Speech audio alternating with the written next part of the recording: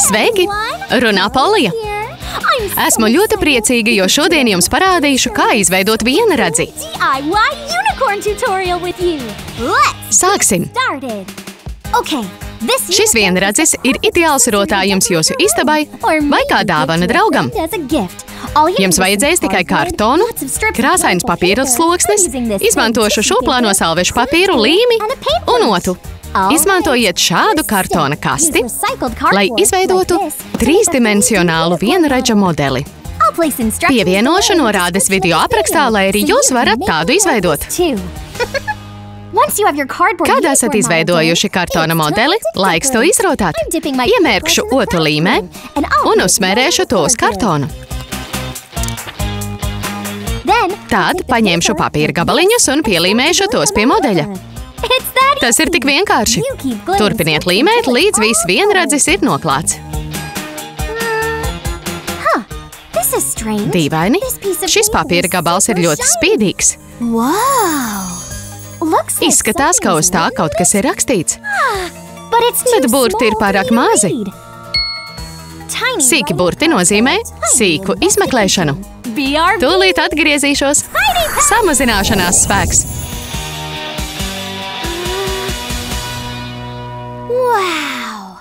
It's a Tā ir karte. Vai tā ir lama, vienradzis, Saturns?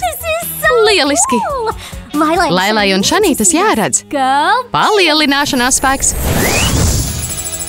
girls. Meitenes, jums jānāk šurp. Atradu mazu karti, kas bija paslēpta papīra gabaliņos.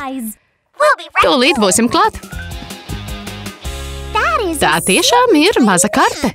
Yes. Jā, un kaut kas liek man domāt, ka tā ir pilna ar lieliem piedzīvojumiem. Gribat tos redzēt? Nevaru sagaidīt. Samazināšanās spēks. Kādreiz esat redzējušas šādas vietas?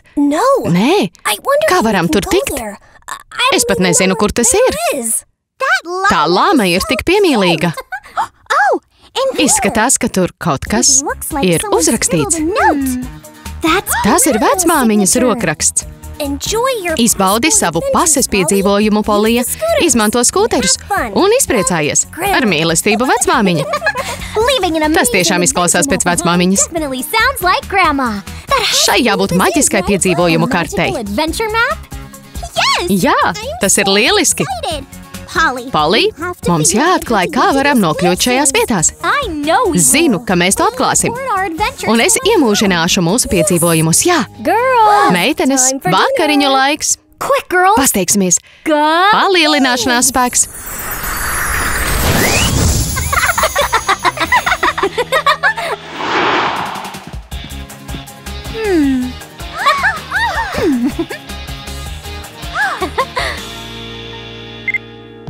Jūs neticēsiet, ko šodien atradām. Tā ir maza karte ar maģiskām zemēm. Nākamajā video pastāstīšu par to sīkāk. Tagad laiks ēst picu. Uz redzi! Ieskaņot skaņu studijā Mārana Productions.